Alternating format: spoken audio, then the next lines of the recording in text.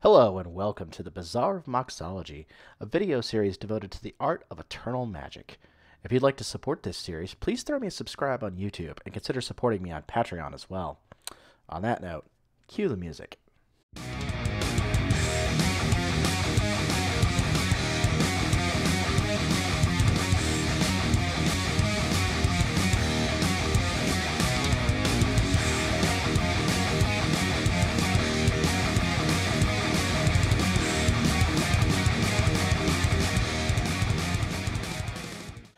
Hello and welcome to the Bazaar of Moxology.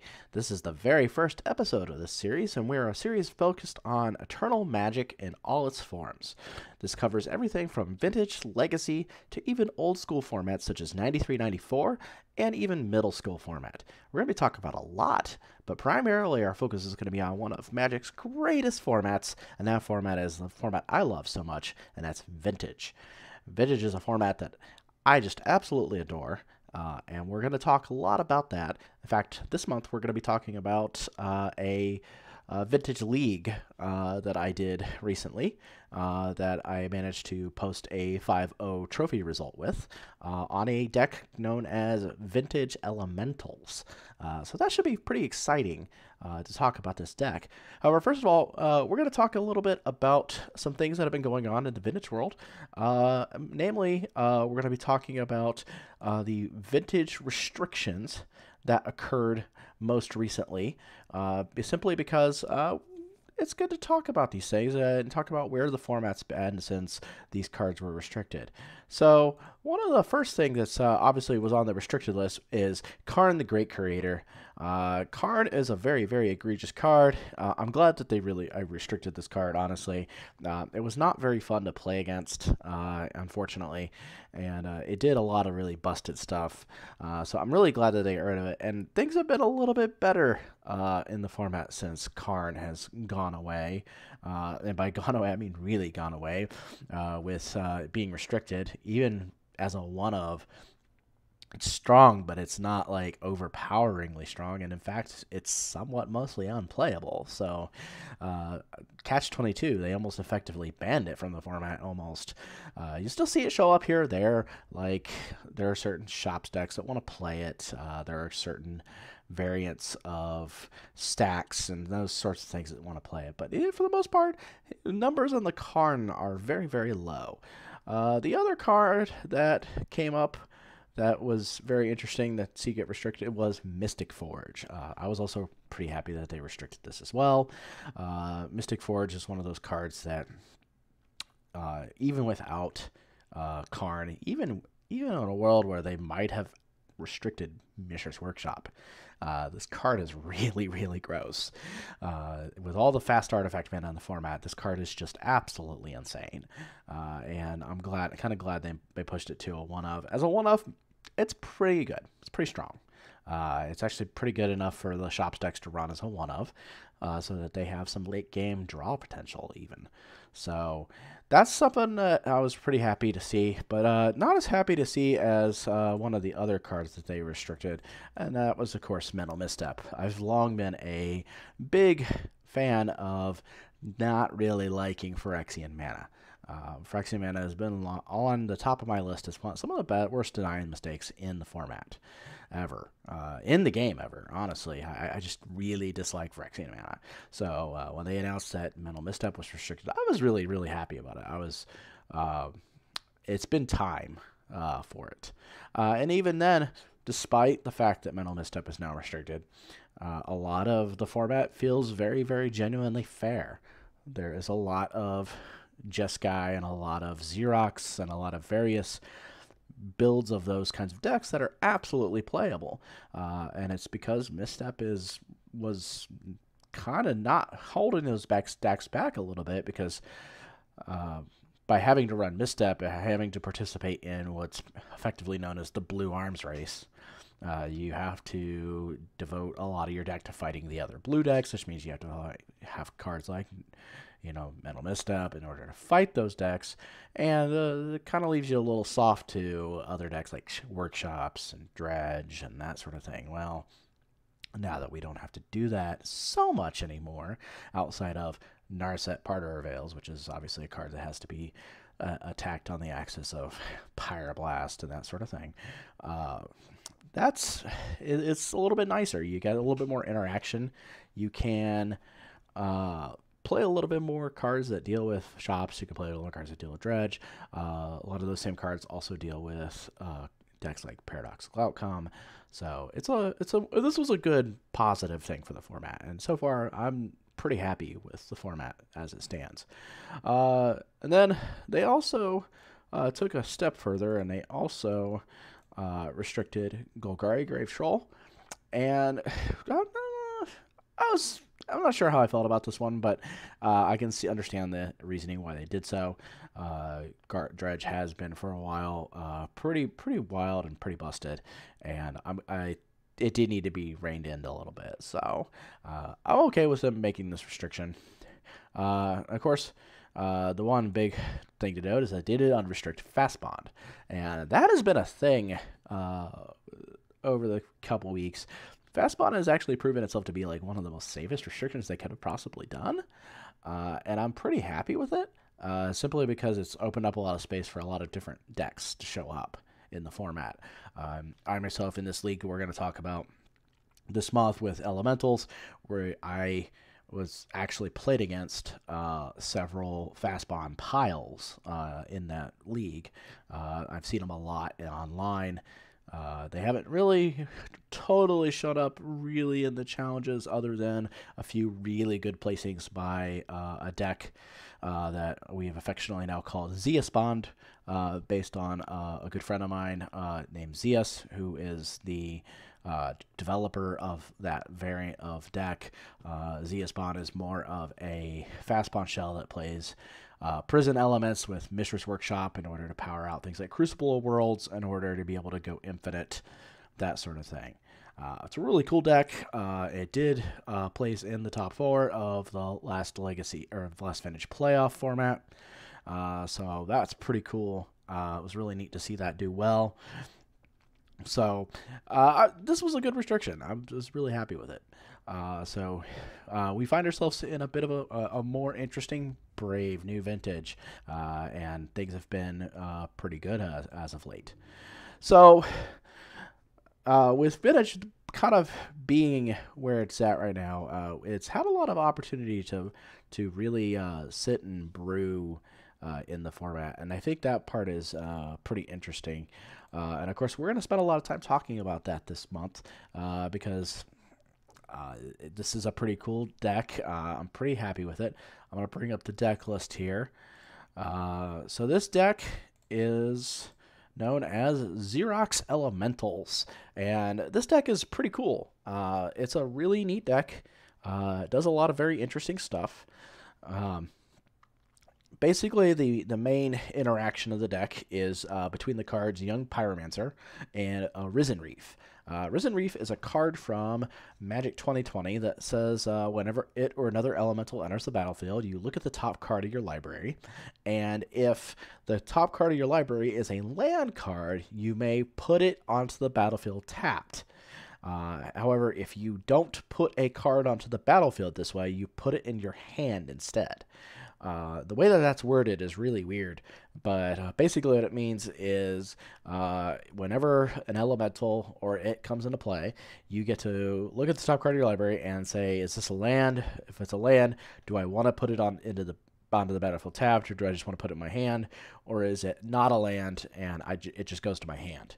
Uh, so this is a way of drawing cards uh, without actually using the word draw. Uh, and that's where I think I like this card uh, a lot, is that you can actually uh, get around cards like Narset Parter Veils, which says that you can't draw more than one card per turn. You can get around that by playing this card that says, I'm just going to put this card in my hand instead. Uh, and what that does is with a lot of the free interaction in the format, uh, cards like Young Pyromancer, uh, suddenly every spell you're casting uh, is triggering a Risen Reef, and you're going to be able to draw a bunch of cards that way. So uh, the rest of the deck is mainly uh, uh pretty minimally mostly a Xerox shell. So it's a rug Xerox shell. Uh, so you're getting to play cards like Ponder. You're getting to, getting to play your single to Ponder. You're getting to play Ancestral Recall. You're getting to play Brainstorm, Gitaxian Probe. Uh, you do get to play Gush, uh, Preordain, all those kinds of cards that you would expect to see in a typical Xerox list. Dig Through Time, uh, Treasure Cruise, that sort of thing. Uh, you also get to play a couple copies of Narset. It's pretty much required for most of these blue Xerox decks to play Narset at this point. That's a topic for a different day. Uh, we won't go too much into why Narset is the way it is, but it is a card that is pretty powerful. Uh, so you do want to play at least a couple copies of it. Uh, we're also playing a couple copies of Chandra Acolyte of Flame. Uh, it's an interesting card. Uh, it is a rare Planeswalker from Magic 2020. Uh, and basically, it has an ability that the, the most important ability on the card uh, is one of its zero abilities, which says that you create two 1 1 elemental creature tokens with haste, and then you sacrifice them at the beginning of your next end step. Uh, so what that does is in conjunction with Risen Reef usually draws two to three card, two to four cards, depending on how many Risen Reef are in play, that sort of thing.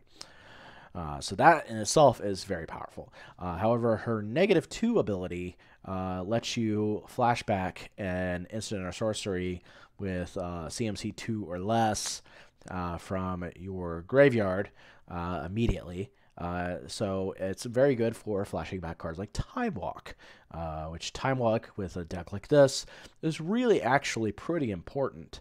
Uh, and the reason I say that is because uh, this is basically a Xerox tempo strategy. Uh, your goal in the long run of the short of the game is to stick a threat, protect the threat, and ride it to victory. And quite often that threat is Young Pyromancer being able to make tokens which go wide uh, to be able to uh, put the damage on the opponent, put a clock on the opponent. Using Time Walk can often ensure that you're winning the game that next turn. Uh, so that's pretty powerful, and Chandra being able to flash it back is exceptionally powerful because you can set up a turn where you can flash it back and you're going to win that very next turn. In addition, because this is a rug deck, we are getting to play cards like Lightning Bolt. We are getting to play cards like Pyroblast, main deck Pyroblast. Uh, we're also getting to play uh, a card like main deck Ancient Grudge uh, and also Veil of Summer. Uh, Veil of Summer is very cool. Uh, card is really neat. Uh, I'm pretty impressed with the design of the card as a blue black hate card that exists in green. Uh, I'm pretty happy that they're getting back to some of these color hate effects in uh, these uh, new standard cards that are coming out, like Veil of Summer.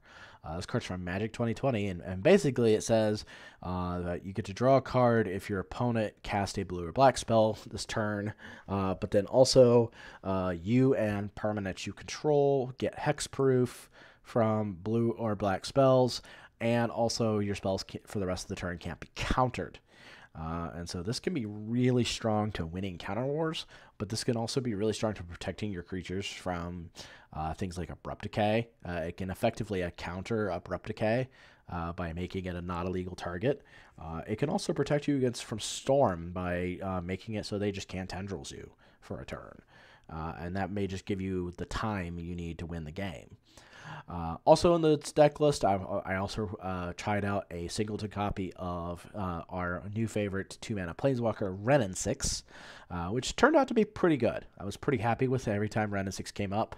Uh, I even did get to uh, put a portion of the game where I got to Wrenn and 6 Strip Mine Lock out an opponent. Uh, granted, strip mine lock as best as you can because there are Moxen and all that sort of thing, but keeping them off of blue sources of mana by using Wrenn and 6 to ensure that uh, when all they had was a white a Mox Pearl and a Mox Ruby.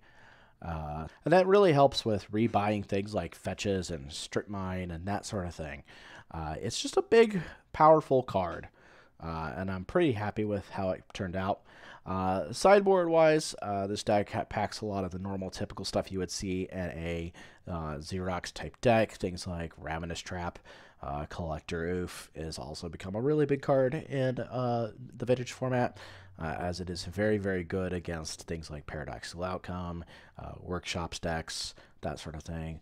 uh, Grafdigger's Cage. Uh, Grafdigger's Cage is awkward a little bit if you're playing Chandra, but if you're in a ma- match where you really need the Grafdigger's Cage effect, you're probably not having Chandra in your deck, uh, like Dredge, that sort of thing.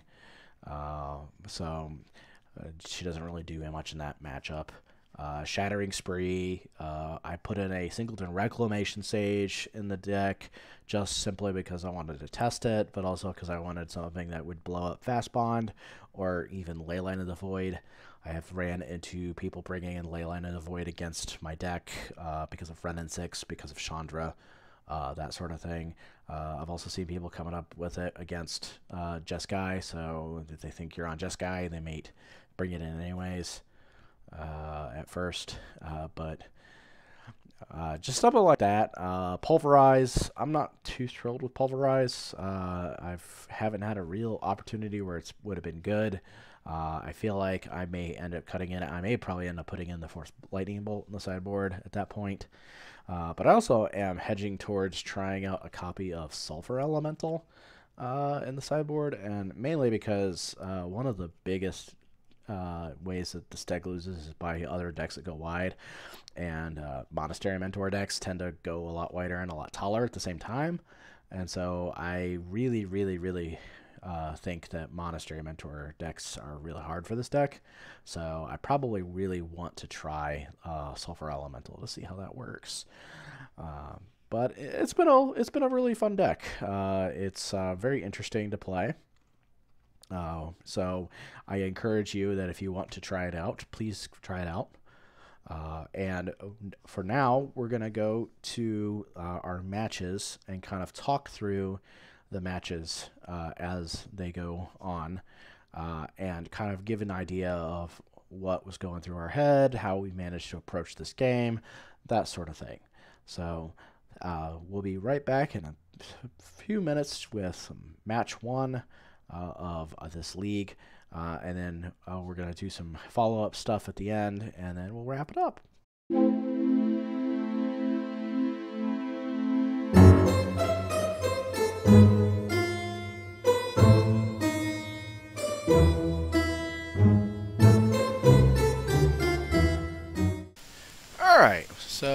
Going to step through the first match of our Vintage Elementals League. Uh, this game one of match one versus Bug Midrange. Uh, so we did win this match, obviously, because this is a 5-0 league. Uh, but we did uh, have some interesting games. Uh, so we were on the draw here, and I really like this hand. Uh, because this hand has a Force Will for turn one interaction uh, in case something were to go wrong. There's double Risen Reef here. Uh, we're not going to be too upset if we pitch one of these Risen Reef to Force Will. Uh, we don't really want to pitch Dig Through Time or Brainstorm just yet. We probably want to cast one of those. Uh, we'll pitch Dig Through Time to a later Force Will if we have to. and so we're going to go ahead and keep this. Our opponent actually mulligans to 6. Uh, and that's not a bad thing for us. Uh, so they're going to start their turn off with a Mox Sapphire, Mox Jet, Underground Sea.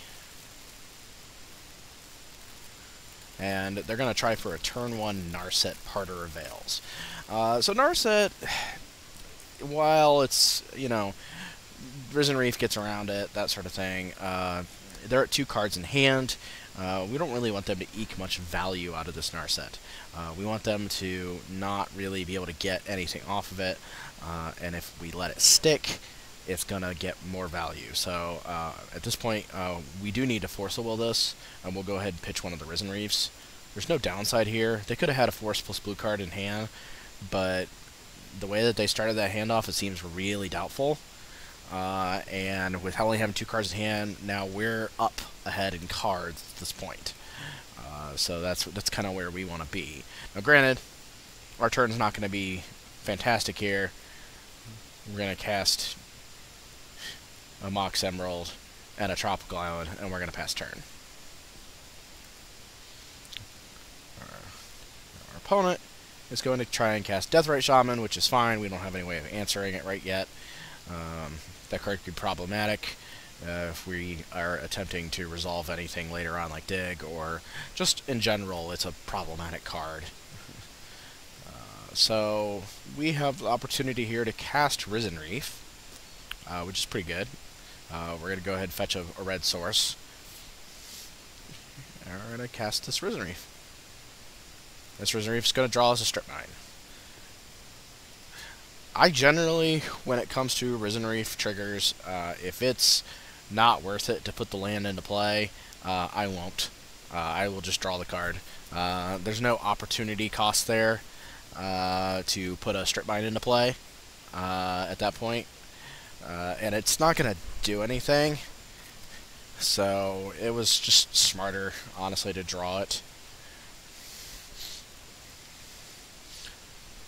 yeah, maybe it puts us up a mana next turn, but it doesn't really do much else. Uh, and it being not very good against this Deathrite Shaman is kind of awkward. So now our opponent, they cantripped a couple times with a Preordain, two Preordains, and they are casting a 4-5 Tarmogoyf. That's pretty good. Tarmogoyf's, Tarmogoyf's a pretty good magic card. Uh, but they have zero cards in hand, uh, so let's see if we can find something to do with that. Oh, uh, okay. Uh, if we can find a red source, we can cast Chandra. Uh, and that would be pretty good. And Chandra does indeed find us uh, a fetch for a red source. We did that instead of taking the mountain because we don't really want... Don't care about the other thing. We could have taken Master Waves, but I don't think it's going to be a big deal. We're going to draw two cards here anyways. Uh, so the Force of Will, that's pretty good. Uh, and Strand, I'm just going to put it in hand because I generally put fetches in hand. Uh, it's also a bit of a bluffing thing with Risen Reef. Uh, if you're not putting a land into play, uh, they must assume that you put some action into your hand uh, or a non-land card, and that could be sort of bluffing with this deck. Uh, make them believe that you have something worth that is going to be played or is going to be good. Uh, so my opponent here they are going to try for uh, dig through time. They have one card in hand, and that is all they're going to do here is attempt to dig. Dig is a pretty good card, and with them having zero cards in hand, uh, nothing going on uh, elsewise, uh, we're going to go ahead and force all this. Uh, we'll, we'll sacrifice our own dig through time uh, to stop a dig through time. Then inadvertently, uh, takes Tarmogoyf out of being able to kill Chandra this turn, uh, which is uh, pretty awkward. Uh, so being able to untap with a whole bunch of mana, being able to cast Chandra, or, or activate Chandra at this point, uh, is going to be pretty good. We're going to draw a bunch of cards. Uh, so our opponent did concede at this point, so we didn't really get to see what we drew, but I felt reasonably happy with this turn as it was progressing. We get to Chandra, draw two two cards. Uh, probably those cards are all probably pretty good. Uh, hopefully we hit like a Young Pyromancer or something like that, uh, and be able to use that to protect Chandra. Uh, so that would be the goal at least. Alright, we're going to go over to game two here of this match in just a second.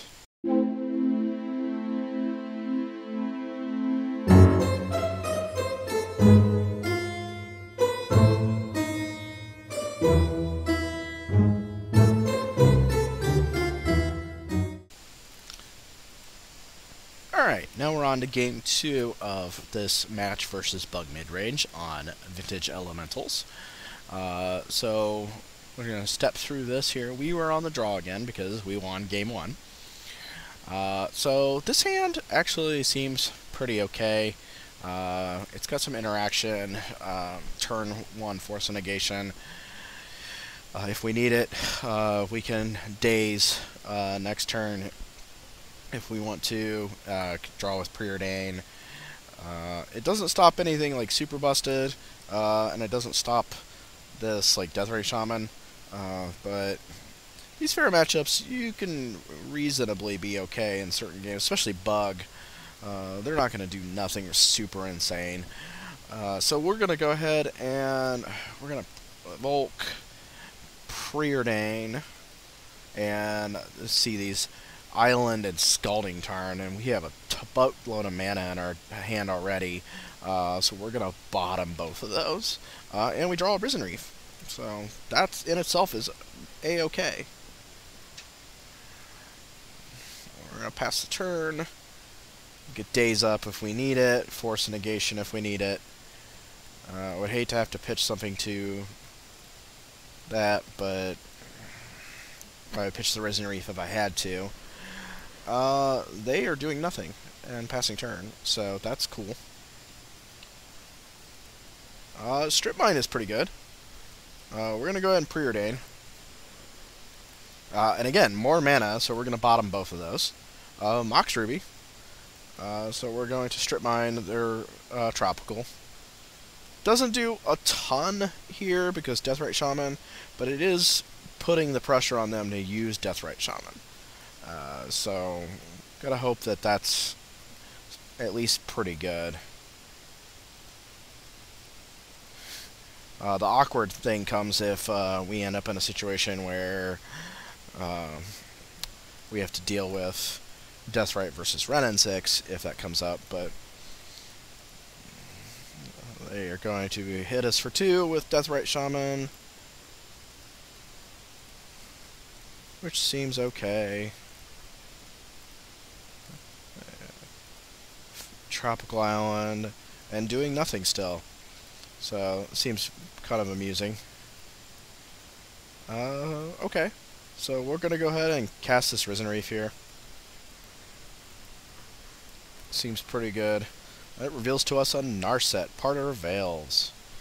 So we have a couple blue cards we can pitch to um, Force of Will, Force of Negation. Uh, I would not be adverse to getting rid of Narset if we had to. Uh, they're going to go ahead and hit us for two again with Deathrite Shaman ability.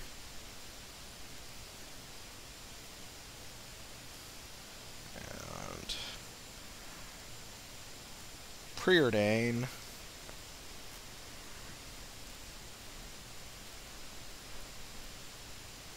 I mean, they're just kind of doing a whole lot of nothing. That's Ancestral Recall. That seems pretty good. Uh, we're going to go and play Chandra first and see what Chandra gets us. And see if we can draw some cards.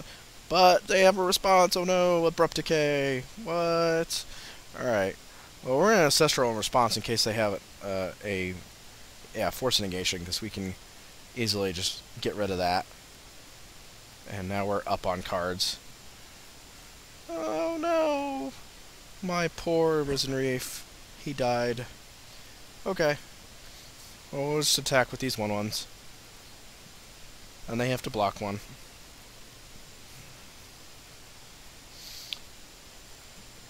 Pass the turn we got some options in our hand now. We have a brainstorm.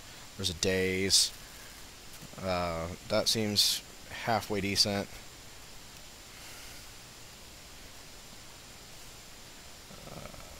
They're actually going to use Deathrite Shaman for ma mana. I'm not sure exactly what they're doing here. Uh, probably resolving a Delve spell. Uh, but since I didn't see two blue sources tapped, I'm going to guess it's Treasure Cruise click through and get to the treasure cruise. Yay!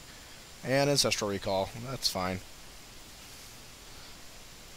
And now they're going to attempt to Assassin's Trophy. My Chandra, they are now tapped out. We're going to go ahead and daze that bad boy. Yeah. Gets rid of that. Alright. So we're going to go to our turn. We have Force of Negation, in hand. Uh, go ahead and cast uh, Young Pyromancer. Going to use Chandra's negative 2 and cast Ancestral Recall from the graveyard.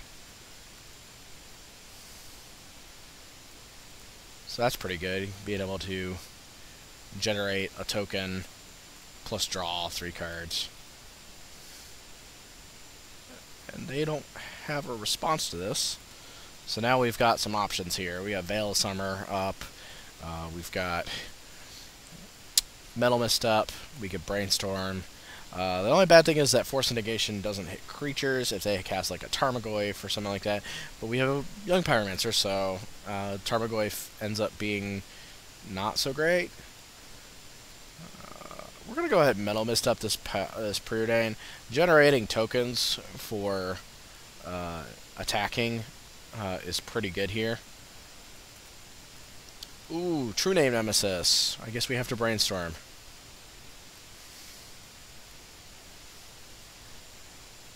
And we whiff on this brainstorm, but the thing thing about True Name Nemesis that's really kind of fun and interesting is it somehow doesn't really uh, do so hot against Young Pyromancer either, uh, like much like Goyf does. Uh, and it's simply because um, there's the fact that uh, the elementals can swing through uh, in multiples, and they still has to block at least one. Uh, so that can be problematic uh, at times. Uh, now, I probably should have cast this second Young Pyromancer first, just to get more value out of this like ponder. I just didn't think about it at the time, quite honestly. Uh, but that ponder is pretty good. Uh, gets us this um, lightning bolt, which we're gonna bolt this Deathrite Shaman. Because quite frankly, this Deathrite Shaman is going to combine with the True Name would end us the game, and so that needs to go away. Uh, so they didn't have a way, to, so nothing to do for the Deathrite Shaman, so that's fine. Uh, now we're going to cast the second one, and of course, again, we should have cast it already before this, and we would have really accelerated our clock, but that's okay. Uh, we're going to go ahead and attack. No downside in attacking here. Uh, we're going to push some combat damage through, and we're going to sacrifice some elementals. Alright, so our opponent is going to attempt a Demonic Tutor, and I really want to push through the damage at this point. Uh, if they're Demonic Tutoring, they're searching for something to try and end the game, and quite frankly, I don't care what that is. Uh, I just want them to die. And they're probably going to get another uh, Force Negation, or another uh, True Name Nemesis, uh, and that would be okay, but uh, us having multiple answers to stuff like this Pyroblast uh, for a Force of Will is going to be pretty good here, and it stops this Demonic Tutor.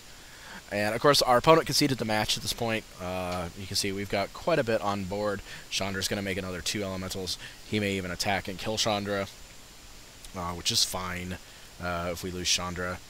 Uh, at that point, we're still gaining a lot of uh, equity here on board uh, if that happens. So that is the end of match one of this league. Um, so we're going to go on to match two here shortly. Thanks.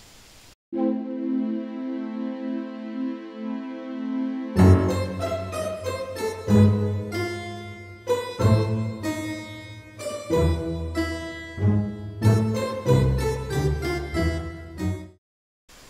so now we're on to match two of this Vintage League on Vintage Elementals.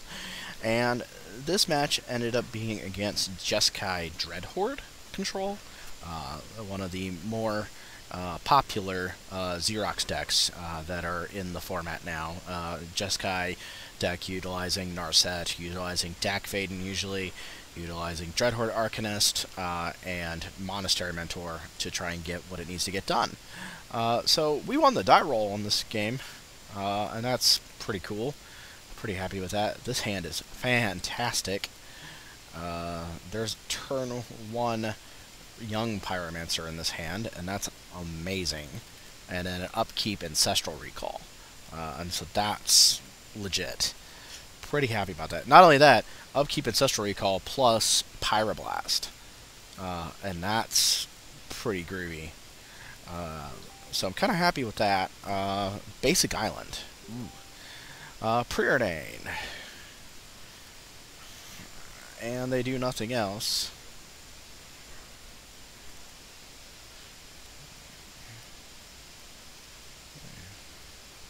And they passing.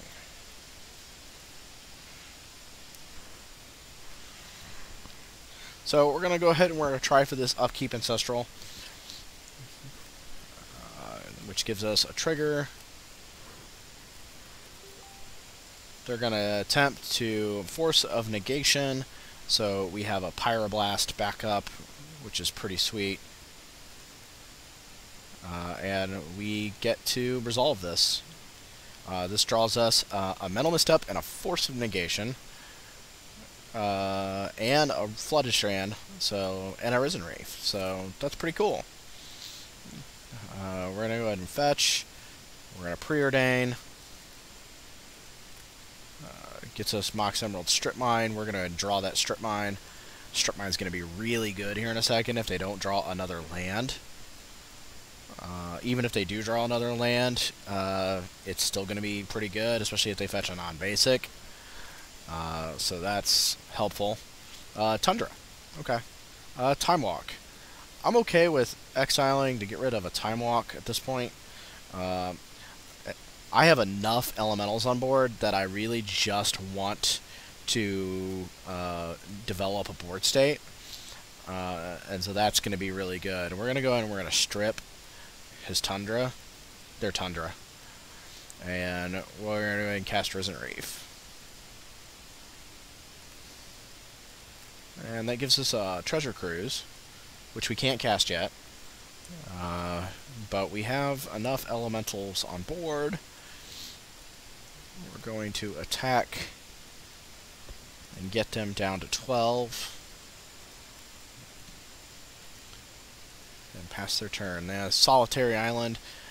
They're going to try for an Ancestral Recall here. They have four cards in hand. They could have a counterspell for this, but honestly, uh, the tempo is real. Uh, they want to basically climb out of the back out of the game uh, by resolving an ancestral. Ancestral is a scary card to have resolve, uh, so we're gonna go ahead and force it. Uh, and of course, they end up conceding to that. What's going to happen that, at that point is the Young Pyromancer trigger is going to draw us a card off of uh, Risen Reef, uh, and then uh, they, they will lose that Ancestral Recall. And of course, that's pretty good because now we're at uh, you know five elementals on board, uh, so that's swinging in at least eight the next turn, followed by another swing the next turn to end the game uh, depending on what we draw the coming turns.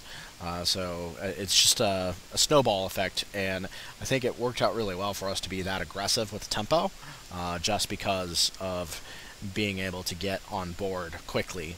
Uh, really, that turn one Young Pyromancer is really what did this for me. Uh, so let's to go on to game two.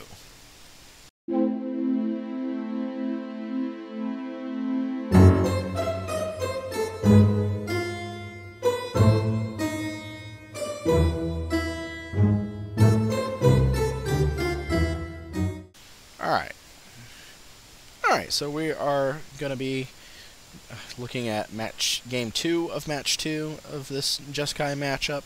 Uh, we were on the draw here uh, simply because uh, we won game one. Uh, so this hand seemed pretty good. Uh, we're definitely going to keep it. it has a turn one Young Pyromancer, so that could be pretty decent here.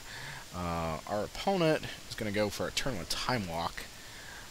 we have nothing really to stop a really insane turn uh, out of this deck, but um, we just gotta hope it doesn't happen.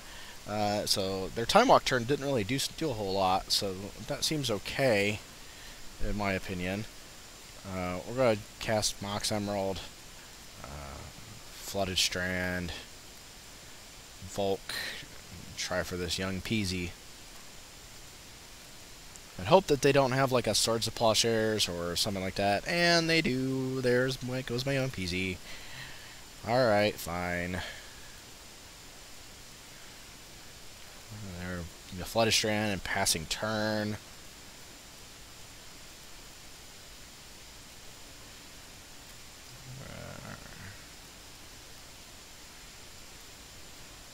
Alright. So, I'm going to go ahead and try for this uh, Young Pyromancer again, and of course they're going to Force Will it. Which is fine, because they were probably going to Force a Will the... Um,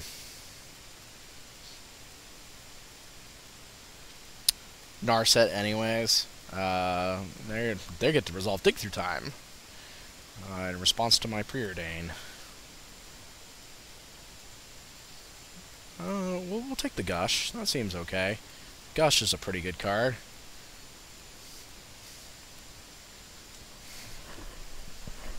Very powerful magic card, Gush is. They get to resolve an Ancestral. And this deck's titular card, Dreadhorde Arcanist. Uh, this card's very powerful, uh, and it just being on the board makes it really hard to deal with. Uh, so we're really gonna have to try and figure out how to best to deal with this. So we're gonna try for this gush here. And we're gonna force a will to gush. We're gonna try for this Narset. Well, it's something. Alright, cast this Lotus. And pass the turn. And he's going to Pyroblast the Nar they're going to Pyroblast the Narset. And using Dreadhorde Arcanist to flashback Ancestral Recall, which is exceptionally powerful.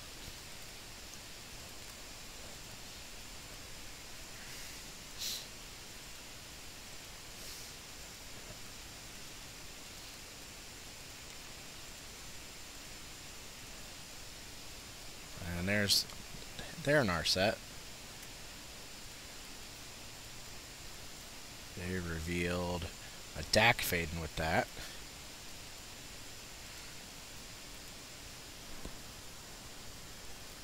So, what we really have to do here is, is just try and resolve this Risen Reef. Uh, gets a Strip Mine. Try and resolve this Chandra and they have a force negation Chandra. So that's problematic. We're in a bad spot here, and so that's we just ended up conceding. Uh, Dack Fayden plus Narset. Uh, it's just we were not going to win this game at all. Uh, once Dreadhorde Arcanist hit the table, uh, we weren't even going to be able to block this thing. Uh, they were just going to Pyroblast my Risen Reef with it. Uh, so uh, that was it's pretty strong. So so let's go ahead and go to match game three of the second match and check that out.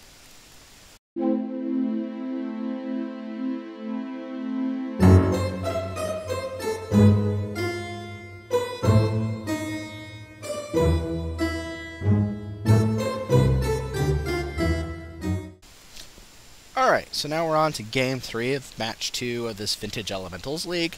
Uh, and so this match being against uh, Jeskai Dreadhorde, uh, we are on the play uh, for Game Three since we've got uh, since we lost Game Two. Uh, so we ended up keeping this hand. it does have a turn one Narset, and honestly, I wasn't about to let go of that.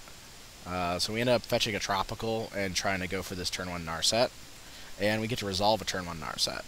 So we get to have a, a Force Will uh, up for their turn, and that seems pretty good to me. Uh, to have a turn one Narset shuts off a lot of interaction. Uh, of course, they're going to try and Pyroblast. I've got a Force Will. I forced it instead of Mental Misstepping. I did not want to pitch uh, the dig through time at all. I kind of wanted to be able to eventually resolve the dig through time. Uh, so now we're going to strip mine the volcanic island and do the thing with Narset. Double Force of Will right on top. Seems pretty good. We have a Pyroblast if we need it.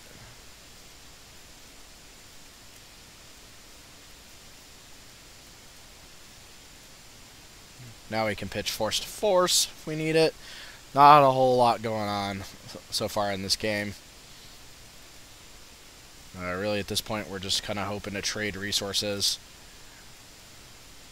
and stop him from resolving, stop them from resolving uh, Dreadhorde Arcanist. So, as much as possible. Uh, we do have enough cards in the yard now to try for a dig through time. Uh, so we'll see if they have a way to stop this dig through time. No, they do not. So we're going to get this Young Pyromancer, Risen Reef. Draw another Risen Reef. Seems okay. Risen Reef gets us Force Negation. Which is pretty okay as well. Lotus. Narset. They revealed Mental Misstep.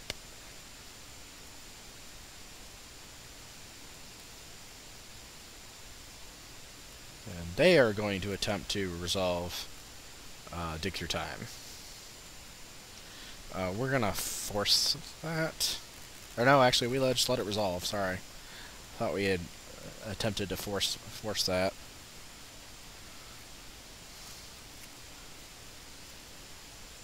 So we might as well just cast this other Risen Reef and draw two cards. The best thing that could happen here is that we hit two lands. Ah, uh, preordained.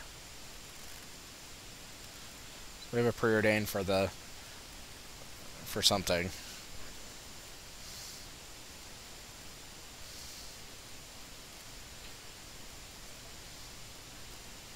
Gonna go ahead and we attacked the Narset so to get it off the board.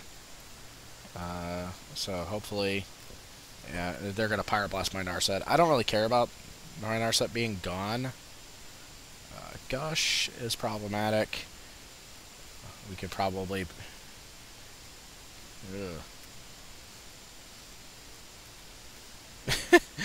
yeah, so they they just Swords of Plowshares and bolt my Risen Reef. Uh, and that's really all they have to do. Uh, guess we just play this Young Pyromancer. A lot of counterplay in this game. Uh, we spend a lot of time just kind of chilling back and forth in turns and doing a whole lot of nothing, uh, which is pretty pretty hilarious. Uh, I want to fetch. Let's see what we got going on here. Uh, well, there's a Chandra. So we can cast Chandra.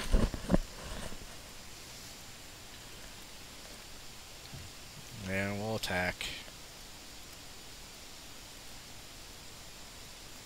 And get him down to 13.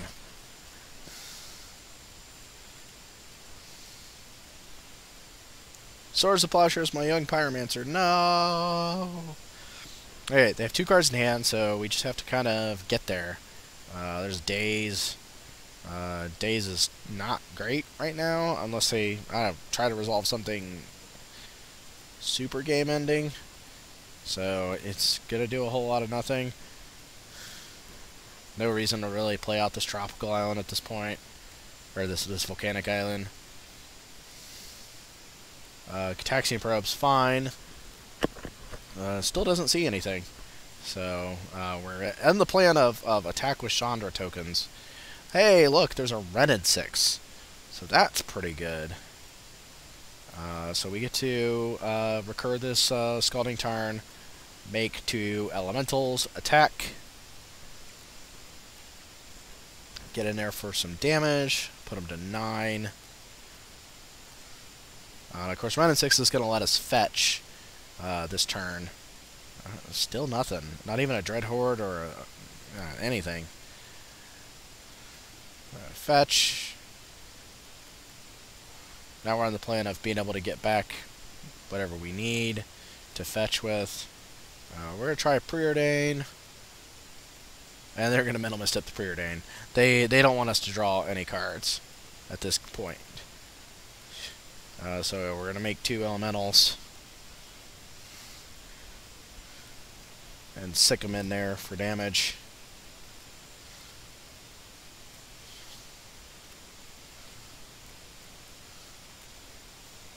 And they still have nothing. This is wild. Uh, we're going to fetch so we can shuffle our library. So ponder. Get in with some elemental swingings.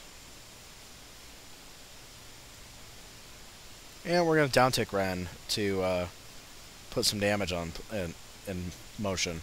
I suspect that they may have some counter magic in hand, so I'm just not even going to bother with the Ponder and just get on board with damage as quickly as I possibly can. Uh, at this point, fetching is really, really bad for them. Uh, so that can be problematic here. Because uh, if they fetch, they could just lose.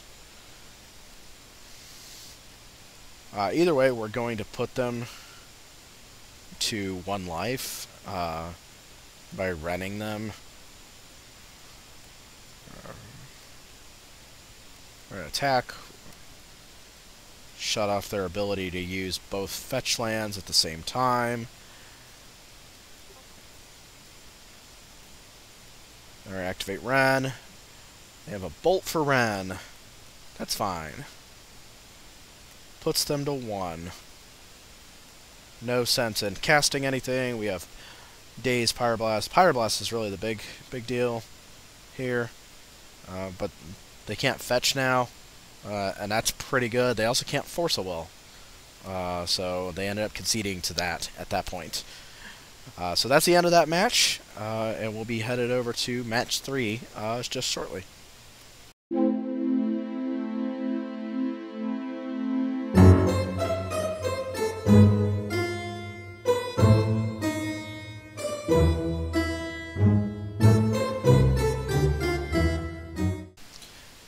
So now we're going to look at match 3 of this Vintage League with Vintage Elementals. Match 3 ends up being against a 4-color Fast Bond type pile. Uh, it's a pretty interesting deck. Uh, I'm not really sure what was going on most of the time. Just trying to kind of develop my own game plan and try and win based on the game plan. Uh, we are on the play, uh, and this hand actually seems fairly decent. Uh, it's got some interaction uh, and but uh, we ended up not hoping to get stuck on one land. We ended up mulliganing it. It Might have been better to actually keep the that opening hand. I'm not sure. Uh, based on what they had going on upstairs uh, with that Gitaxian Probe, Ancestral, plus Force of Will, uh, seems to me like it's probably okay that we went ahead and kept what we did. Uh, so they went Mox Sapphire, Lotus, Ancestral, and we try to Pyroblast that, which succeeds, and they Wasteland me.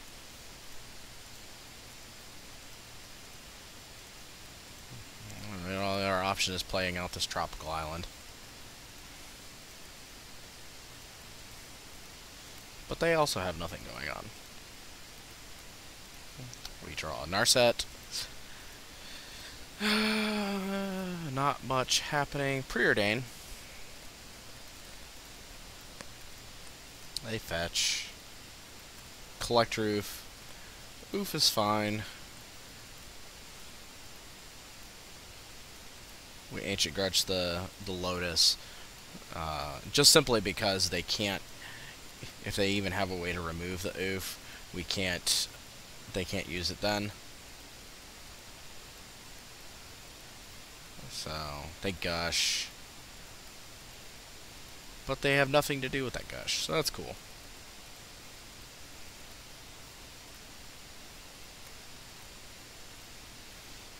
Just take away some of their mana options if they if we ever decide to blow up this uh, Collector Ouphe. Which we could.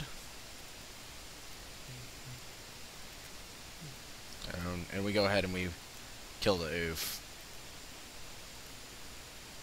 A merchant scroll for a force of will.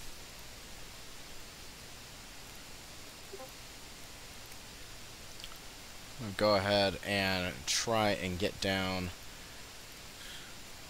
a Risen Reef. We're going to attempt to force it. We'll force back. Get a bolt.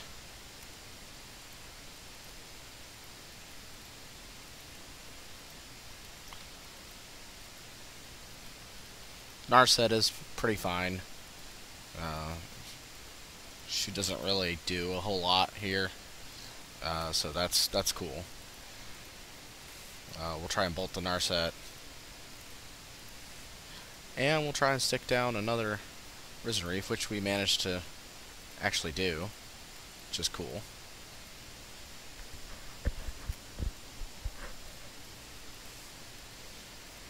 Get in there for some damage. Fast Bond is, uh, okay.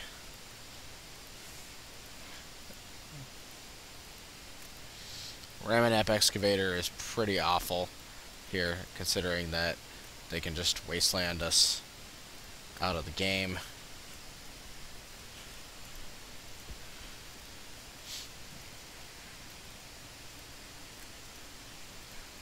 Uh, so we need to be able to find either a mountain or something. Uh, we get our mountain at least. At least we're wasteland proof here. Dryad Arbor.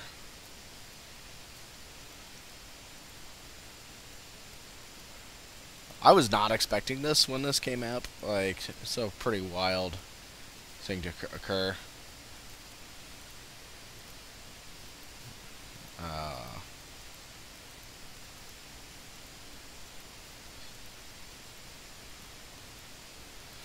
and they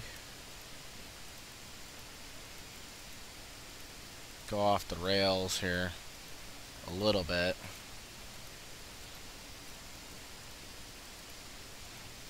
I'm not really sure what they're running into here, but uh, turns out it's a green sun zenith for five to get Titania Protector of Argoth. Now, granted, there are four life here, so uh, there could be some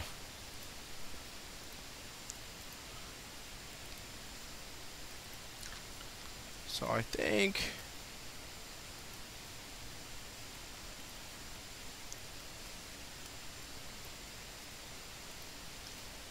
they try to force a will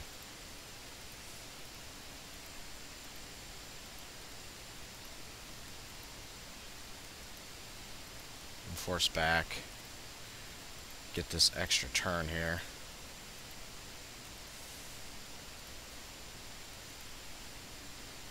And the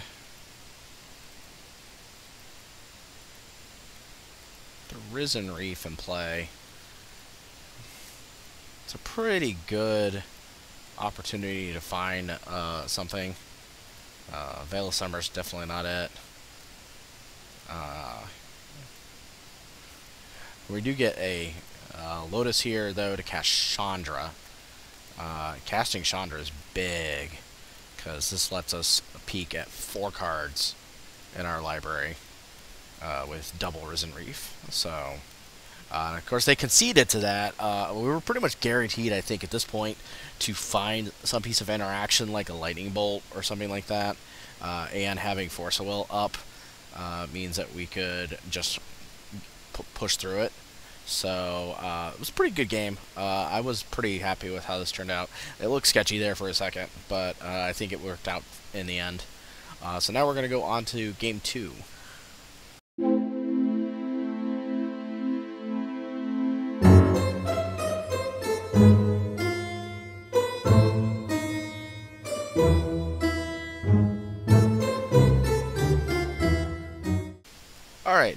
Game two of match three of this league with Vintage Elementals. Uh, this was the match against four color fast bond. Uh, we are on the draw on this because they went first, or they and they lost the first game. So, trying to hunt to find a reasonable hand here that does something. Doesn't really do much if they have a really fast uh, hand if they have like a fast bond pretty quickly. Uh, but Pyroblast plus Preordain is reasonable. Like double Pyroblast deals with some stuff, but it doesn't deal with uh, any of like their fast bond draws, which they could admittedly have. Like they do. There's a fast bond draw. There's Wasteland. We might as well try and pyroblast that guy.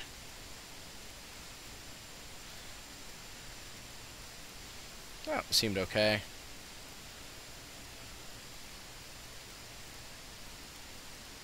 See what's going on upstairs. They have a Titania in hand and an Assassin's Trophy.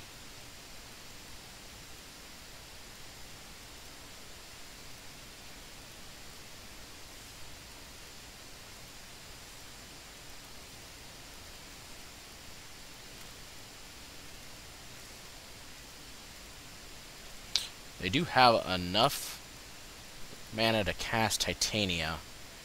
And that's a little scary.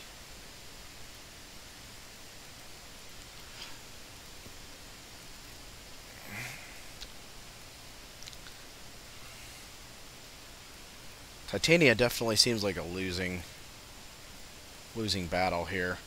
We can try and bolt it. They're still going to get a 5-3.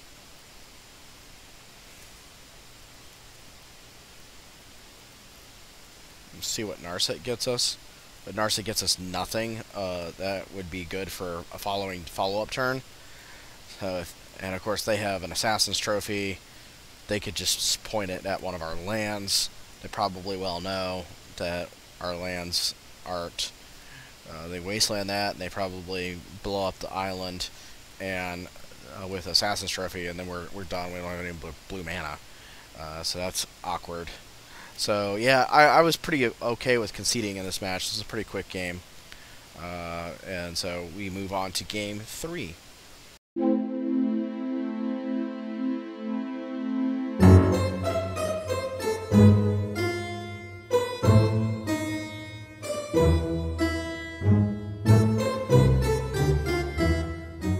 Alright, so now we're on to game three of match three of this League on Vintage and Elementals versus Four Color Fast Bond. We're going to step through this game. We are on the play, uh, simply because, again, uh, we lost uh, match round game two. Uh, this seems like a pretty halfway decent hand. There's a Daze. Uh, there's Preordain. And Force Negation. Plus, there's a Risen Reef. And I like seeing hands that have Risen Reef in them. And they start off trying for a Merchant Scroll. So we daze that bad boy.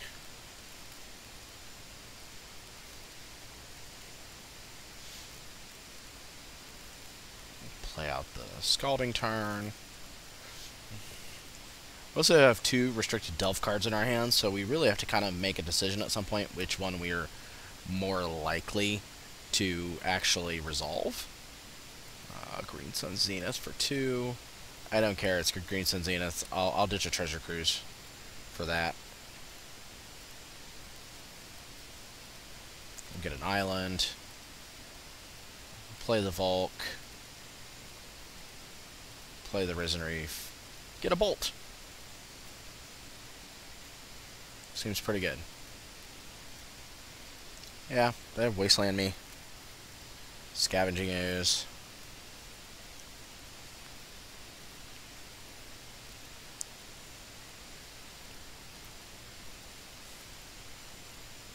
We'll fetch and we'll bolt to the Scavenging Ooze. They exile uh, something to, to get rid of it. Oh, okay. Gush and Dig Through Time. You know, draw with that Waterlogged Grove. Modern Horizons Canopy Land. It's cool that those are seeing play. Alright, so we've got Gush, we've got Dig up. We're gonna Gush. Uh, and then we're going to replay a land. And we're going to pay to dig.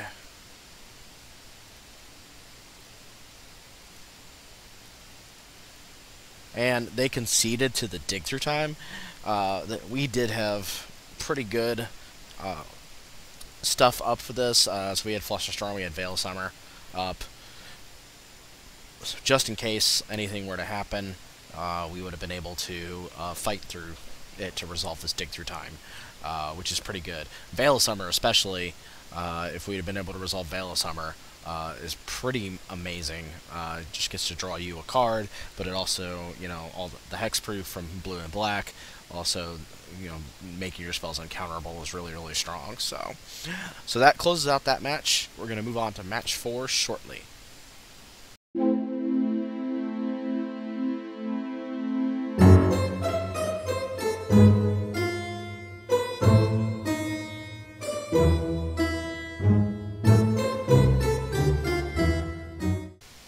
So here we're on to match four of this Vintage Elementals League uh, versus another four-color Fast Bond deck. Uh, so it was interesting to see a couple of these decks around. Uh, we did lose the die roll, uh, so we do have to uh, be on the draw. Uh, I went ahead and mulligan. I was expecting possibly some sort of crazy interaction to happen turn one, and I always like to mulligan to something that has some sort of interaction uh, in this format. Uh, but we do have a Gitaxian probe. Uh, it's, it's, cool. We're going to go ahead and play that out with the Wooded Foothills in play. Uh, just simply because uh, Daze has been showing up a little bit more. Uh, but they have Force Will, Tropical Island, Waterlog Grove, Wasteland, Merchant Scroll, Demonic Tutor. that's not too bad they can merchant scroll.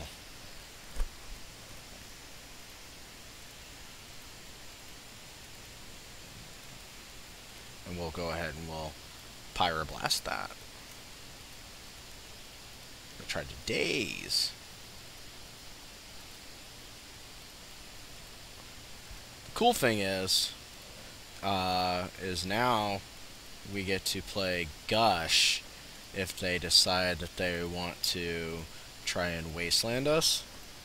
So that's exactly what they're going to do. So we're just going to let them do it. Uh, simply because it doesn't really utterly matter at this point. Now, here's where the real fun begins. A young pyromancer uh, that we can gush with. Uh, and that's pretty powerful. So, Underground Sea, Demonic Tutor, that's fine. Probably Demonic Tutor for Ancestral Recall.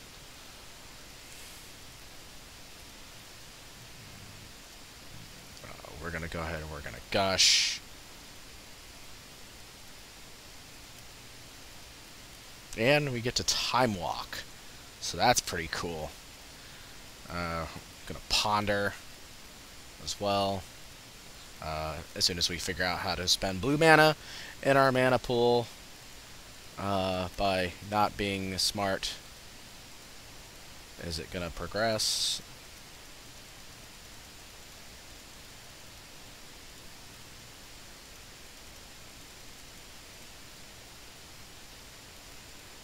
Oh, okay. So we we ponder, we we try to do something.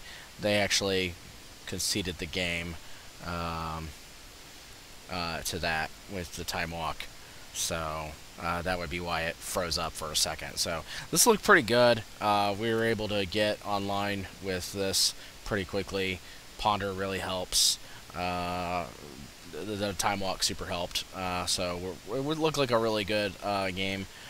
so we're going to go on to game two here and check that out.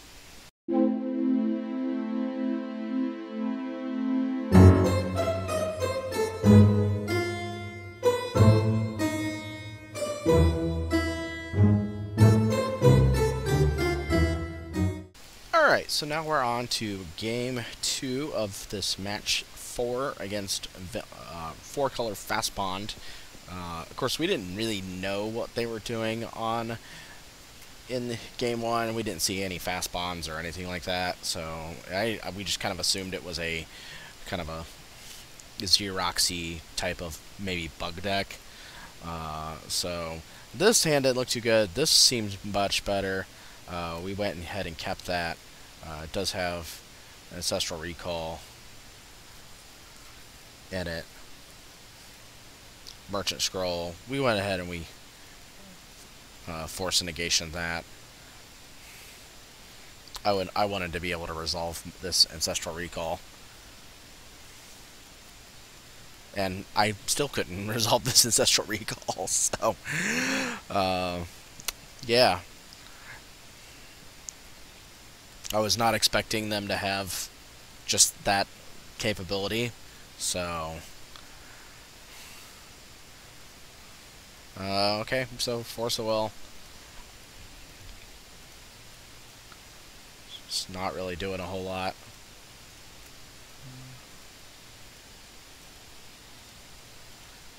Uh, they are paying for Green Sun Zenith for Scavenging Ooze, which I can bolt, so that's cool. Gets rid of that guy. Uh, can't cast this Gush, so more than likely it's going to get pitched to a Force of Will if I need to, uh, because choices that you have to make. Uh, mountain. Still not looking good. Uh, I'm not thrilled with it. Mox Jet. Four mana cost cards. Maybe casting Treasure Cruise. Green's same for three. And we'll counter that. Well, we still can't cast Treasure Cruise. We can't cast Veil of Summer here. Oboro Palace in the Clouds. That's a uh, very interesting card. Try and cast this Young Pyromancer. Abrupt Decay it. So, so there's a whole lot of nothing going on in this game so far. And I can't cast this Risen Reef. But I can try and cast this Treasure Cruise. And my opponent hard casts Force Will.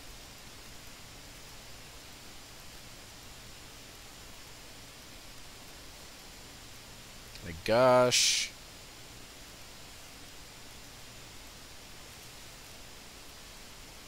Brainstorm.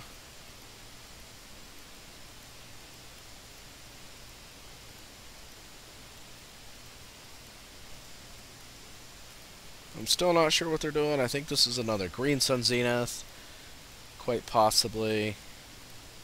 But I just, I end up seeing there's just not much I'm going to be able to get into this game uh, if they're casting a big Green Sun Zenith like that. Uh, so let's go ahead and go on to game three.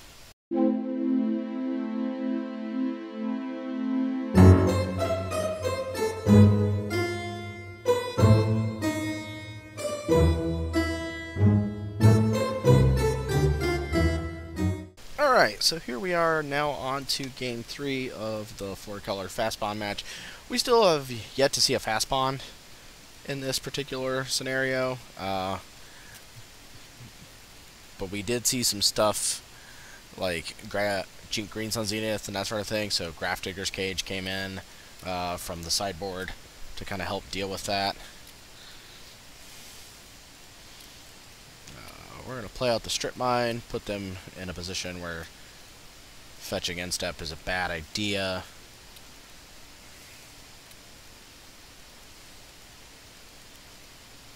Let's see what they're going to do. Underground Sea. Underground Sea. I'm going to try for Narset. We're going to daze the Narset.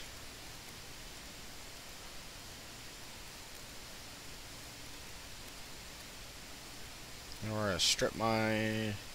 We're going to try for our Arisen Reef here. Risen Reef gets back Wrenn and 6. So that's cool. Scavenging Ooze is obnoxious.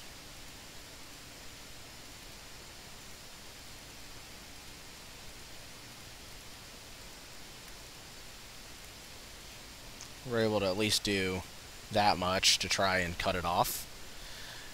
Whether that's good enough, well, they ended up with another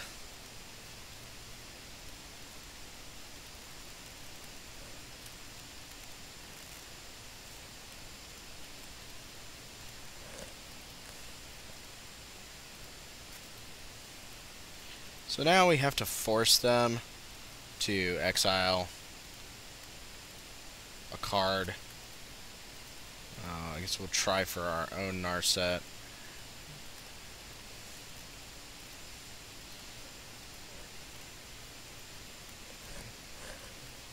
We don't really care about them attacking into somebody. Uh, they are going to attack Narset, which is just fine.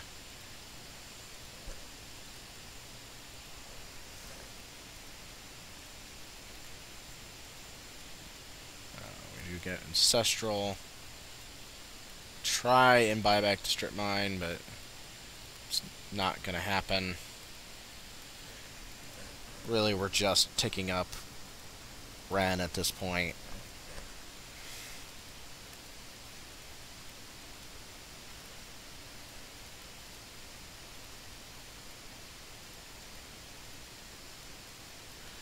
Yeah, he's going to kill the Narset.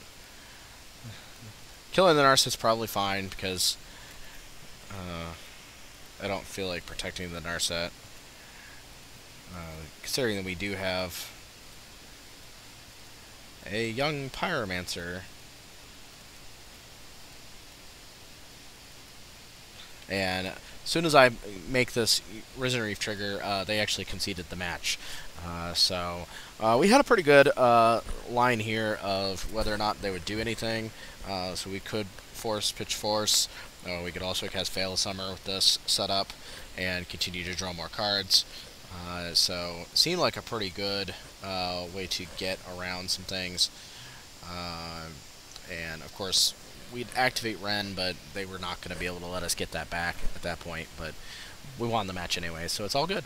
So we're going to move on to match five, the fifth and final match of this league. So be there shortly.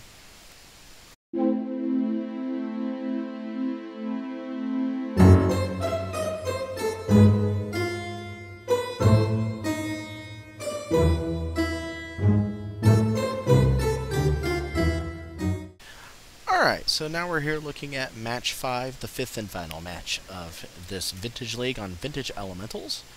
And we're going to uh, step through this. This is against Jeskai Dreadhorde. Uh, so this seemed like a reasonable hand. It's got Daze plus Pyroblast. Uh, seemed fine to, to keep this.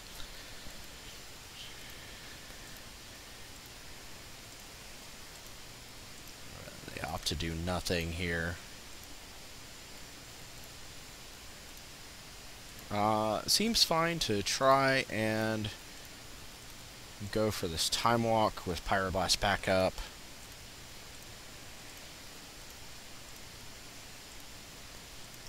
It also seems fine to try and go for this Narset, Parter of Veils. and that prompts an instant response. And there, a Pyroblast at Narset or Daze. And it's fine that Narset doesn't resolve because we have a second one and they wasted a bunch of resources. Uh, so let's go to. They do nothing on their turn, just play another.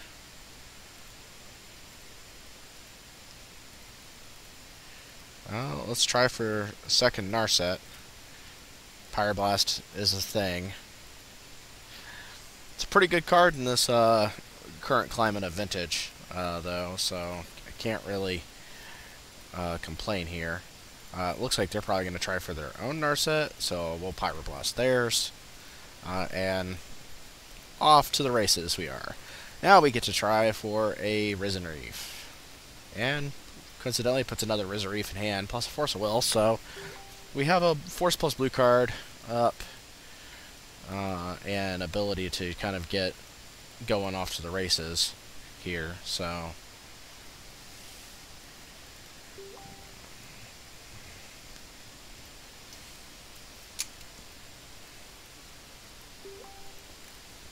brainstorm.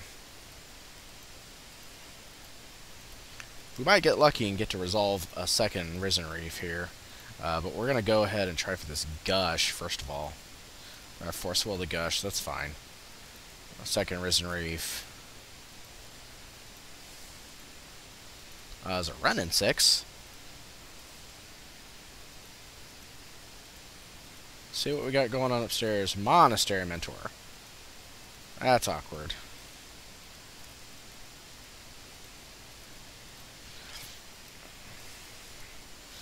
Would have been nice to draw into another blue card at that point. Monastery Mentor is a pretty good magic card against this deck. Uh, it goes wide really quickly. Uh, and that's the awkward thing about it. Not having another blue card here is really awful. To capitalize on these Risen Reefs plus these this young Pyromancer.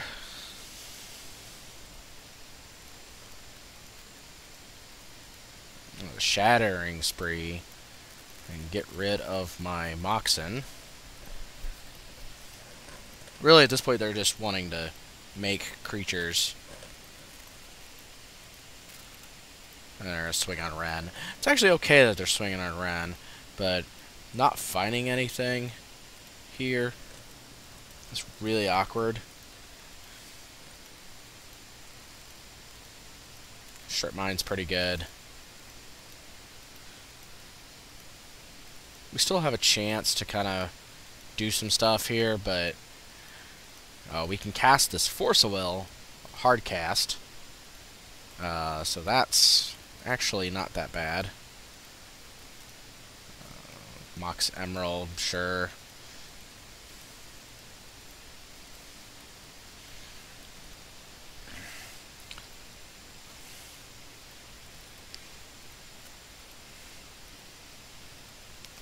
Uh, I don't really want to cast this Master of Waves for fear of not being able to cast the Force of Will. So now they're going to do something. We're going to go ahead and Force of Will. Oh, draw that. Draw that. Arcanist is a problem and that should not be around, so... Uh, Ancient Grudge is not bad. Uh, but we're going to try and stick this, stick another Risen Reef.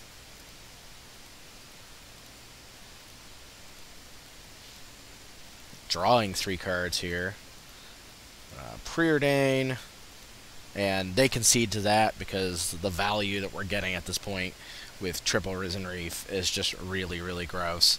Uh, every time we're casting a spell, we're drawing three cards, plus also whatever we do with that spell. Uh, so that's uh, that in itself is absurd, and of course that will find us enough counter magic to push through a Master of Waves the following turn. So that would be pretty good. All right, so we're on to match game two of match five.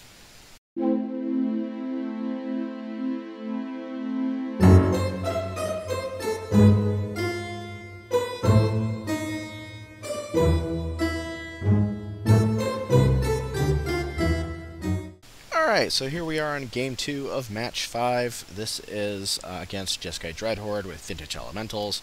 We're on the draw in this game, uh, uh, just because we we won the game before. Uh, mulligan here.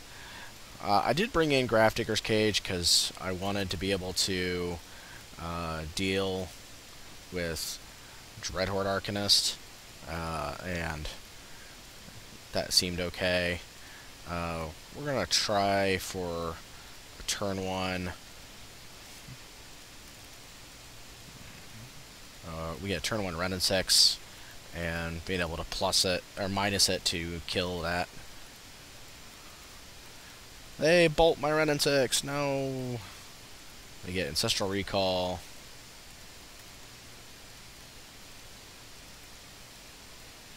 Just gonna stick a Chandra out there make two elementals, and attack with them. Start the clock rolling. try and force a negation that. Ancestral Recall that they got.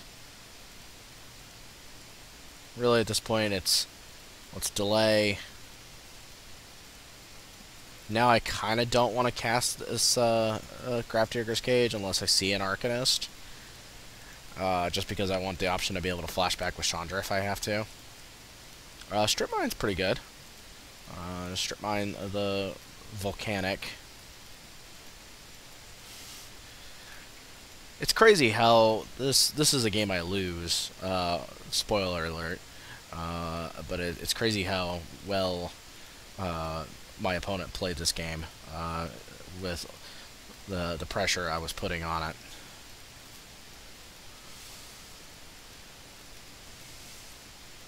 I'm just gonna attack with these elementals some more.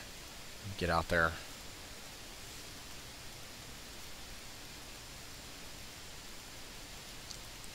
Because mainly they have a whole lot of nothing they're doing here.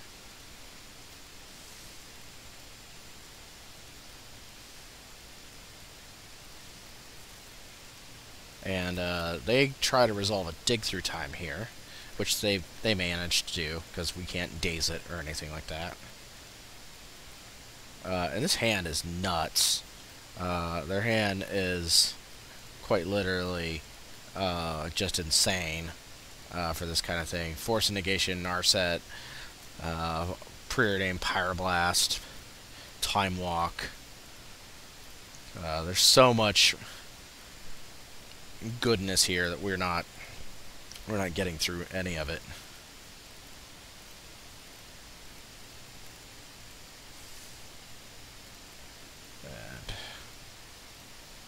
They resolve Narset.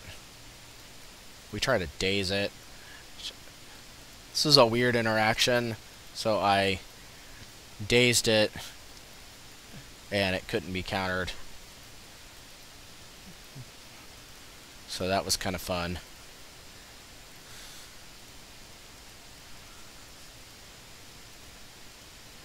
Uh, try for these two elementals here.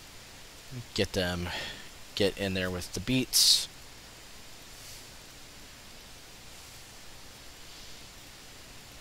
And my phone opponent finds a monastery mentor. I should have tried to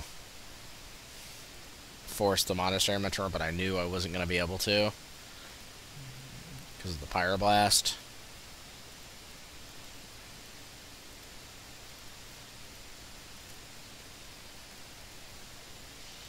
I'm use Chandra to flashback Taxian Probe. Force Negation. Pyroblast Dack Fayden.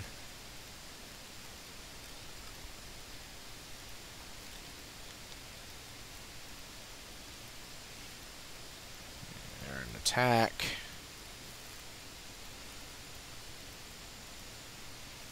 They make the smart block here.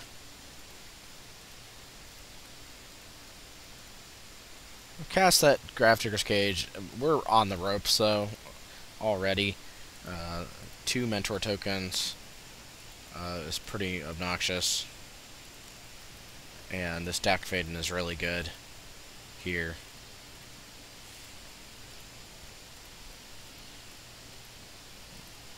And they get rid of Chandra.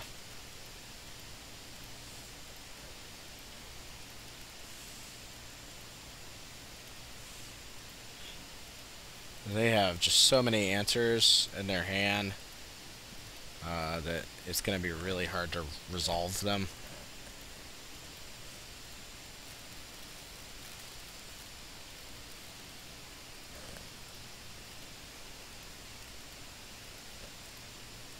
And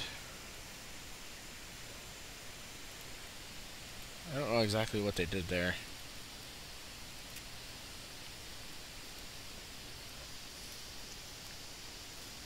They didn't dig themselves.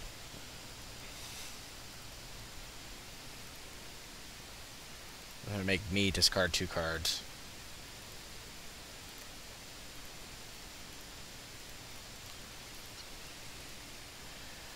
But anyways, uh, so I conceded to this game. Uh, the mentor at this point, me discarding, I was not going to win this game. Pyroblast, Force Negation up, uh, just all sorts of stuff happening in this game. Uh, so if I'd have hit another blue source a little earlier with, um, or like a fetch with Wrenn and 6, uh, that might have been halfway decent. Uh, so, but uh, unfortunately, just wasn't in the cards to happen. So we're going to go on to match 3, or game 3, sorry, here in a second.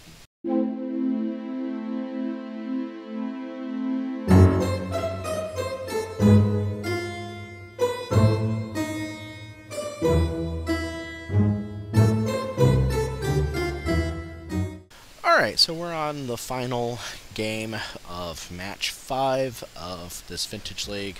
Uh, again, this was a 5-0 Vintage League. We are on the play because we lost game 2.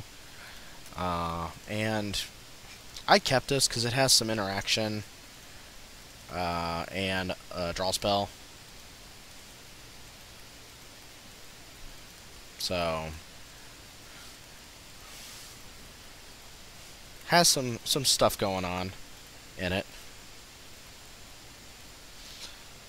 Eh, Ancestral Recall seems pretty, pretty solid.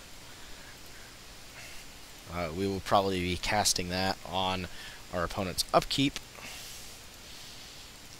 and having ourselves a grand old time. We're going to cast Containment Priest, which is like, okay, I'll, I'll bolt your Containment Priest. Uh, I'm not sure even sure why they brought in Containment Priest, but they did. Uh, their Ancestral Recall.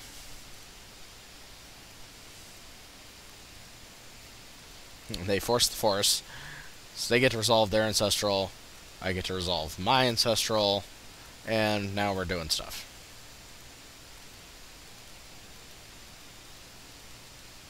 They ponder.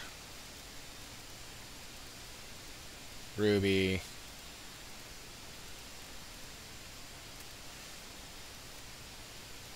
I'm going to strip the volcanic, preordain, and we get to Wrenn and 6, which is pretty cool. And also, we're going to cast the Grafdigger's Cage, just in case they get a online with a, a guy. So this Time Walk was on here. Uh, instead of going for Wrenn, uh, I, went, I go for the Time Walk first uh, to try and bait some counter magic. This also gives us uh, mana for Veil Summer up this turn. So we don't get to strip this turn, but they are going to try and force negation that. And Veil of Summer uh, does that for us. Uh, then we also go get to go Lotus. We get to Delve.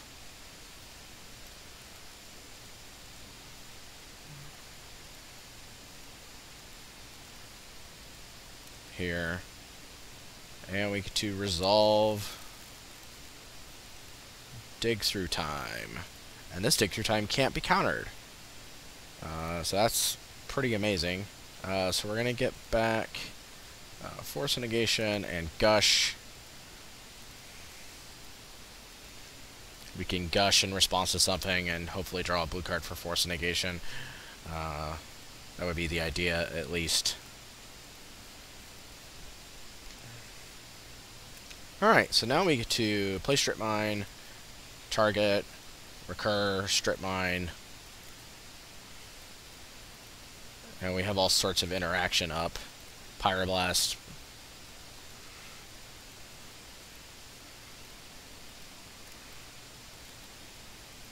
Lavinia, we're going to Pyroblast, and they concede to the Pyroblast on Lavinia. Uh, we have Strip Lock with uh, Wrenn and 6 up, uh, and Force Negation plus Gush, uh, which means we can really just kind of go to the races here and kind of get through uh, everything that they're going to throw at us. So, pretty cool. So, that ends that league, and of course, that means we did go 5-0 with this league. Uh, so, I'm going to record some thoughts here uh, on the deck uh, with the deck list, and then I'm gonna go. We'll head back to the video. Thanks, guys, for watching.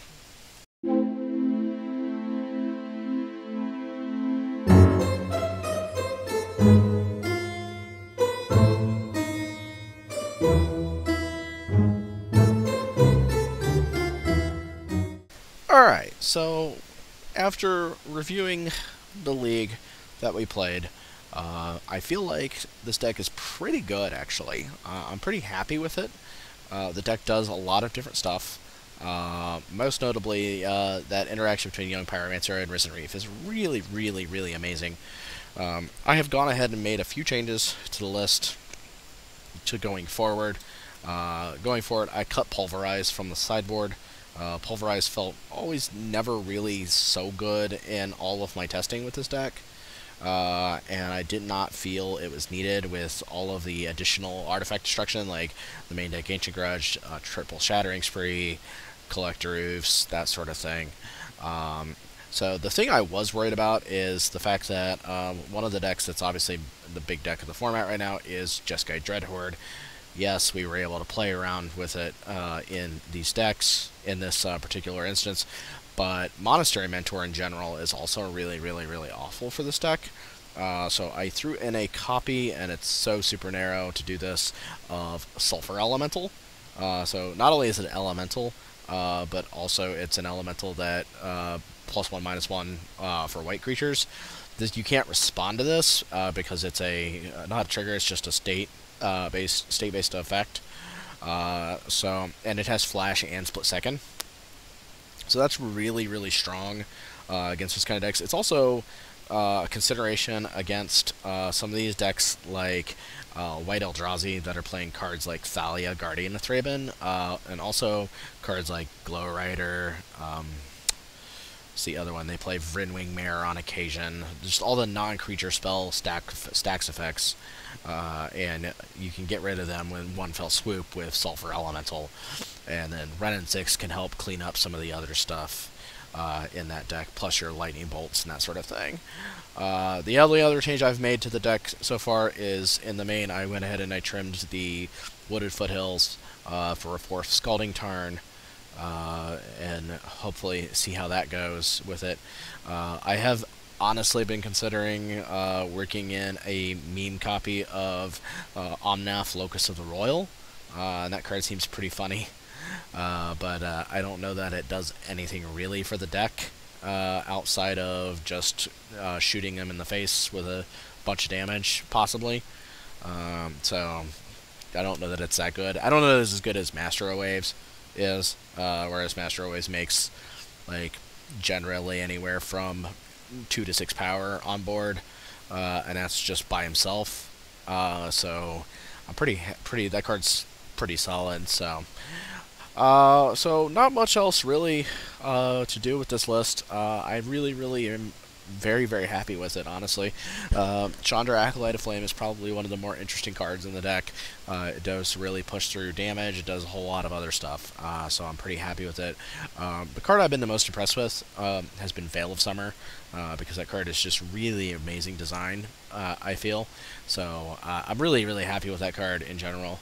Uh, but uh, and I've been really really happy with the Singleton Wrenn and Six. I don't know if this deck actually needs two to three of these copies of this card because uh, I do think you want to have room for Narset, you want to have room for Chandra because Chandra flashes back cards, but also uh, draws you cards at the same time.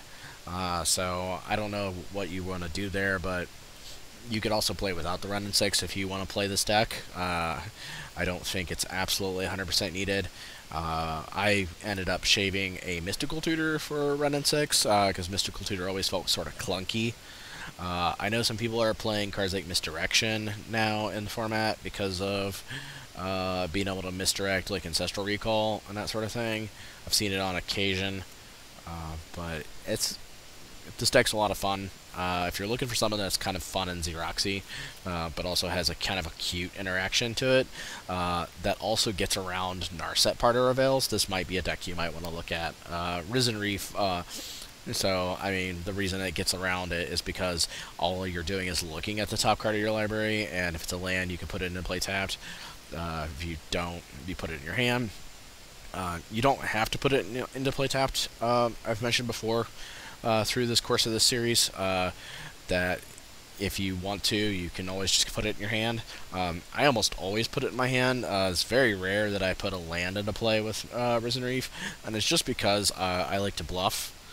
Uh, in, in a format like Standard, where Risen Reef is seeing play, like in the Rug Elementals list there, uh, putting a land into play is solid. You always want to do that because of the fact that you want to accelerate uh, your ramp uh, with that uh, card. With R Risen Reef and this kind of shell, where you're using it as a value engine with Young Young Pyromancer, uh, you really are just using it to draw cards, uh, and drawing cards instead of uh, putting a land into play, drawing a card may tell your opponent that you have something in your hand that that you drew that was good, uh, and that it maybe wasn't a land. Uh, so if you're always drawing with it, uh, they're never going to know what what if you're pulling a land or not, uh, which is really really really strong interaction, and it's also just strong bluffing. Uh, is really what you're trying to get at there. So um, I might want to make a, another room for another copy of Pyroblast, but I kind of consider Veil of Summer my third Pyroblast. I really like the card. I think it's an amazing card. Uh, so, uh, Reclamation Sage could come out at some point. Um, been seeing a lot of these fast bond type decks, and so I don't really know that uh, I want to get rid of something that destroys an enchantment. And that was like the most convenient thing I had available to me at the time was Reclamation Sage. Um, could try something else. So, but those are my thoughts on this deck going forward. Uh, we're going to get back to the main video now, so thank you guys for checking it out. Alright, and we're back. And so now we're on to a section called Other Tidbits of Information that is going on in the Vintage world. If you guys were not aware, there is a Vintage format playoff that is an additional format playoff that's coming up on uh, October 9th, is when that's supposed to be coming up. Uh, so if you are not already queued and you want to uh, get queued for that, or if you are planning on playing in another one and need to play in one to get to the format championships, there's going to be two more opportunities for that once in October and once in December. Uh, they added another one uh, due to some issues with the modern playoff event that occurred reaching the cap. Uh, so they added another one to get people an opportunity to be able to get in and get into that. Uh, but they did it for everything.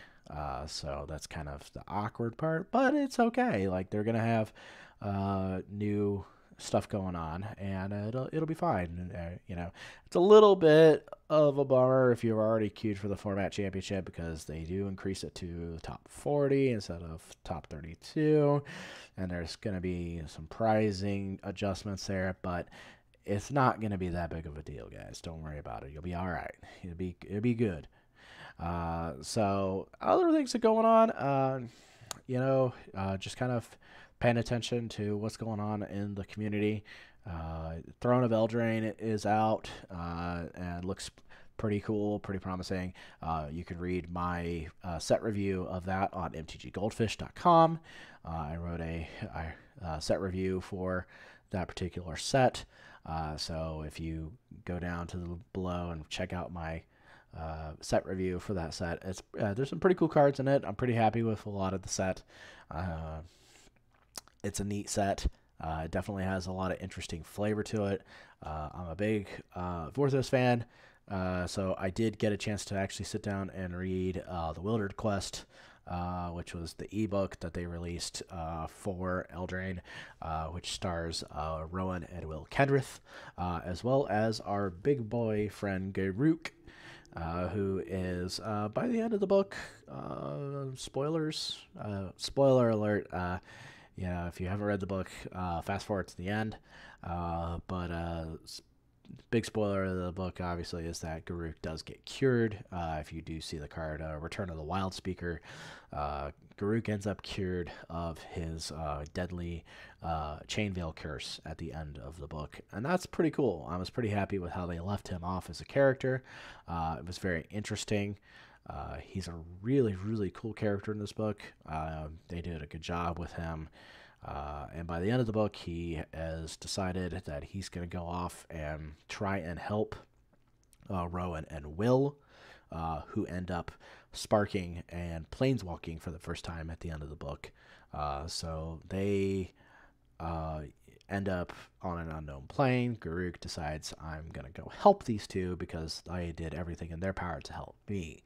And that's pretty cool. It was a really neat uh, way to do things.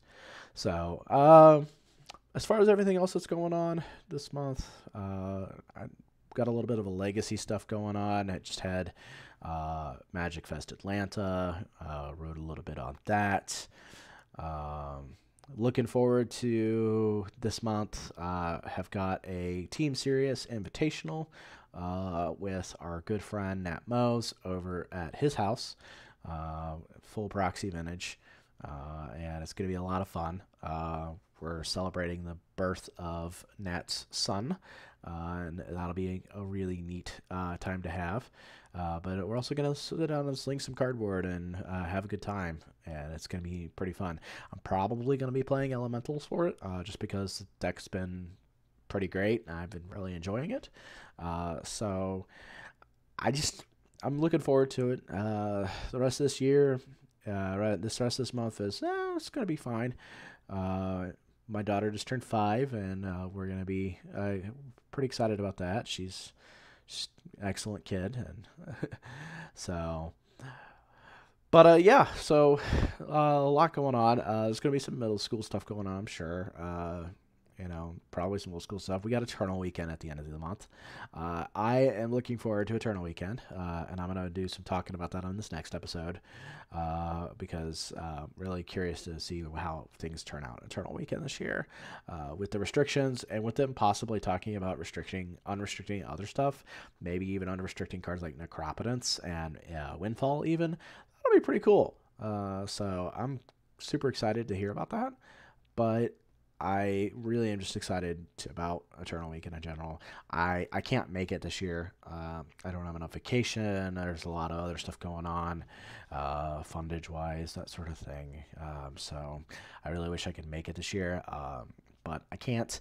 Uh, so I'm going to be here watching, uh, writing, uh, doing this little uh, video series about that kind of stuff. And uh, hopefully, uh, we can talk about some of the cool stuff that we did get to see on camera at Eternal Weekend next month. And hopefully, it'll be a pretty cool weekend. if you are going and you want to say hi, shoot me some pictures or whatever, hit me up on Twitter at VolrathXP. Uh, I would definitely be down for that. Uh, you know, just if you want to like shoot me some on the side, on the scenes coverage, talk to me about what's going on out there. Uh, I, I'm I'm there. I'm gonna be in coverage all day that that day for vintage. Uh, watching the vintage top eight on Sunday. Uh, it's just gonna be a really exciting weekend, uh, and it's it's champs. What do you expect? It's gonna be super exciting. So, anyways, uh, that's about all the time we have this month. Uh, again, if you guys would like to uh, follow me on YouTube, subscribe to me on YouTube, uh, follow me on uh, Twitter at VolrathXP. Uh, I do have a Twitch. Uh, VolrathXP is my Twitch name. Streaming is really hard right now, but we'll get there at some point. I also have a Patreon at patreon.com slash VolrathXP over on the right. Right. Anyways, new new time doing this stuff. Uh, we're having a good time. Uh, if you would like to see more, see what I uh, I'm up to, uh, follow me those places. If you want to support what I do, please consider supporting me on Patreon. Please consider consider subscribing to me on YouTube. Uh, it really does help. Uh, there's a lot of stuff going on right now. Every little bit helps. So, with that, on that note, we're going to get out of here. You guys keep having a good time playing Eternal Magic. You guys keep having a good time playing Vintage. Love and life. Cue the music.